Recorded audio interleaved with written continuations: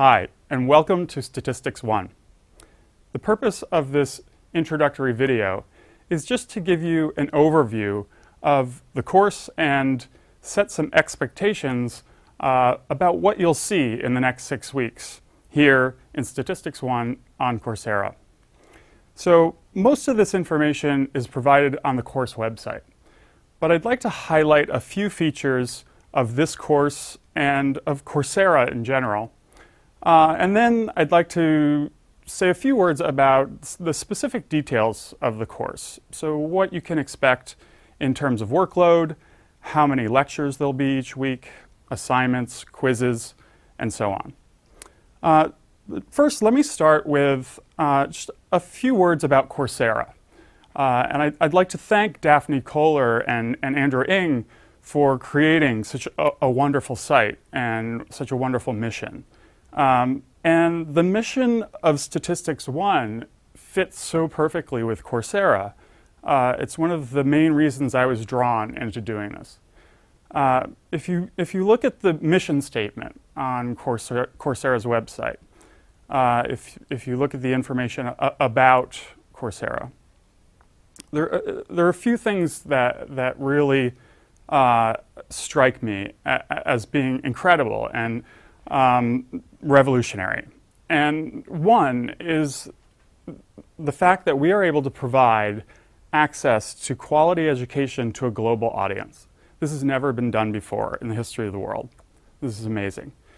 Uh, because we know that education empowers people. It improves their lives, the lives of their families, and the communities they live in. That's directly from Coursera. And I love that phrase because we all know that to be true. Education is essential. The other thing I like about Coursera's approach is pedagogically, they emphasize mastery of material. And again, that fits perfectly with how I approach teaching statistics.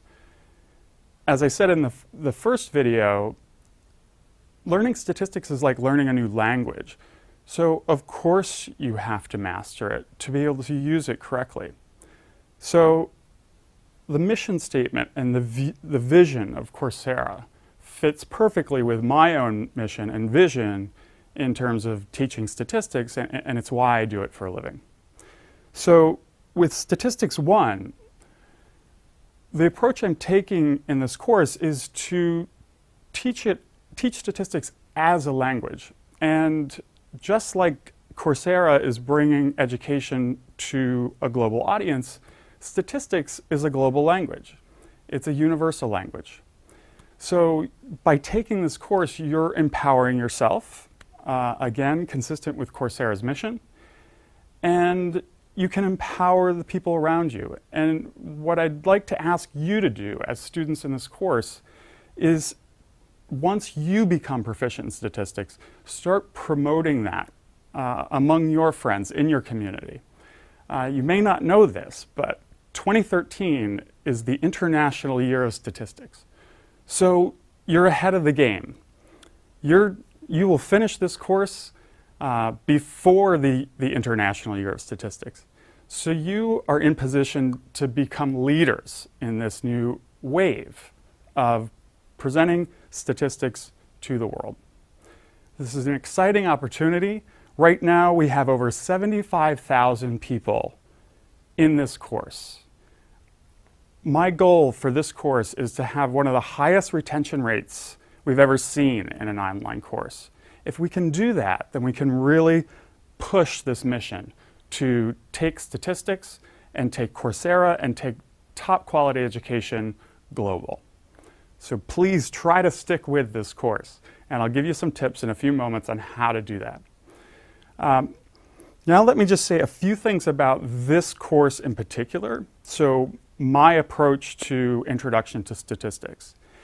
There are a lot of ways to begin learning statistics, a lot of ways to uh, introduce many of the concepts that will be covered in this course. Um, so I need to just tell you a little bit about how I do it. Um, one, you should know that I'm a psychology professor. My, my education is in psychology. It's not in math and statistics per se. Although I did have a lot of math and statistical training as a graduate student, uh, this is not a mathematical approach to statistics. So if, if that's what you're after, uh, then you might want to take another course on top of this course. Uh, Coursera now has two other courses uh, that also address statistics and in a sort of different way. So my point is that in this course we're taking a very conceptual approach to statistics. It's more about the why are we using these procedures than about the sort of detailed how are we doing them. That said, we will cover all the math underlying all the analyses that I cover, uh, but that's just not the emphasis. Um, the other general approach I take to statistics is, uh, and, I, and I take this from Bob Abelson, who taught statistics in psychology at Yale for decades. Uh, his, popular book, the title is Statistics as Principled Argument. And the main thesis of his book was that the purpose of statistics is to provide principled arguments. Again, that's consistent with this idea that it's, it's a language. Uh, I'm sort of a non confrontational person by nature, so I don't really like as argument. So I, would like to say it's, it's statistics as principled conversation. Uh, I, I, like that better.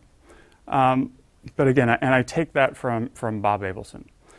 Um, just two other features I'd like to highlight for this course and how I approach statistics is one, the importance of measurement of constructs. That's a key component of my own research. So I'll spend a lot of time in this course talking about things like reliability and validity uh, that you don't typically see in an introductory statistics textbook or in a first course. Uh, I'll cover reliability, validity, measurement theory in more detail than, than most other books or other courses would, and again, because I think that's just so essential. And finally, um, a lot of you may wonder, a lot of my colleagues who might watch this may wonder, is he going to teach null hypothesis significance testing? Um, and yes, I will. um, but I will also, of course, uh, discuss the limitations, the flaws of null hypothesis significance testing, and we will cover other sorts of information that necessarily should be provided along with any null hypothesis, hypothesis significance test, such as effect size, confidence intervals. So we'll cover those as well. And finally, on that point, at the very end of the course, you'll see what I like to emphasize is model comparison. Uh, so rather than just engage in null hypothesis significance testing, let's compare models. And that's where we'll end uh, at the end of this six weeks. So finally, this, at the end of this, this introduction, I just want to say a few words about the specifics of the course. Uh, so all of this information is provided on the course website. There's a home page. Right below that, you'll see a course schedule. And in the course schedule, it's very detailed. You'll see exactly when lectures will be made available on the website. And you'll see exactly when quizzes will be made available, when they're due, when assignments are, are made available, when they're due, and so on. Uh, the general structure is we will post three lectures per week. So the expectation is you that you will watch three lectures per week. Uh, you can expect each lecture to be under an hour. Uh, so my advice is to allocate about three to four hours per week just viewing lectures. There's one quiz per week, and that should take only about a half hour to an hour at most. And then there's one assignment per week. uh, that that may take just an hour. It may take up to three hours, if particularly if if writing code and learning software is new to you, then that might take some more time. Uh, also on the the home page, you'll see a link to discussion forums. And we've created several forums already, and I hope that you uh, join these forums and, and, actively participate in them. Uh, you'll notice that we've set up several forums on specific topics. One is just a general content, so any, any general questions that you have about the course, bring to the general forum.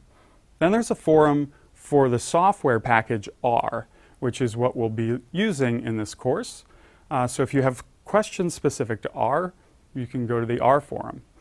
We've also created a forum just for math. So uh, in my experience teaching statistics, I know people coming to this content, some people have advanced math education. So some of you have probably taken calculus and even courses beyond calculus, whereas others, you may have not seen math since you know, your high school algebra class. So, so for people who are sort of in that latter group, that's a good forum. If, if you just want to ask a really basic question about some of the mathematical computations that we're covering, you can go to the math forum. Uh, and then finally, there's a technical forum. If, if there are issues that you run into uh, with the website, with downloading software, you can bring those to the technical forum. Another thing I'd like to mention, just along the same lines as the discussion forums, is there's a link on the, on the website called Join a Meetup. And this is something new that Coursera has created and, and has been wonderfully successful. So around the world, people are finding just ge geographically close by neighbors who are taking the same course and they actually get together uh, in real life, not here online, uh, and discuss the course. So I hope that happens all over the world. And uh, hopefully I can you know, travel and, and maybe uh, join in on one of these meetups. Um, just the last thing I want to say about the, the details of the course, uh, there are assessments built into this course. So it's not like a, a, regular college course where you'll be getting a grade, but I've still structured it that way. So the final grade, if you will, is, is, consists of how you do on the weekly quizzes, how you do on the weekly assignments, and then there will be a midterm exam and a final exam. And if you just sort of aggregate how you do on all of those assessments, you'll get sort of an overall view of, of your performance in the course. But again, I purposely left that to the end of this video because that's not really the, the emphasis here. And the emphasis is on mastery of this material.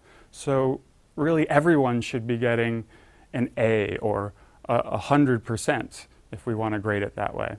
Um, so one of the wonderful things about this, this forum and this approach to teaching is I finally don't have to worry so much uh, about the assessments.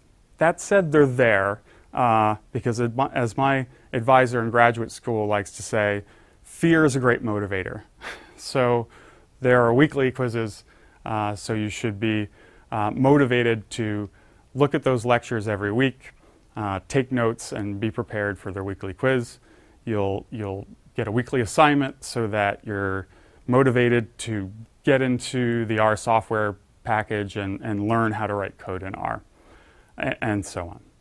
Uh, so let me wrap up this introduction just by again saying welcome to Statistics 1.